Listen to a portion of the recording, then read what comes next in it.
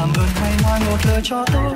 Biết đi em chẳng được mạnh mẽ, anh cũng hiểu vậy mà. Tại sao bỏ mặc em lẻ loi một mình?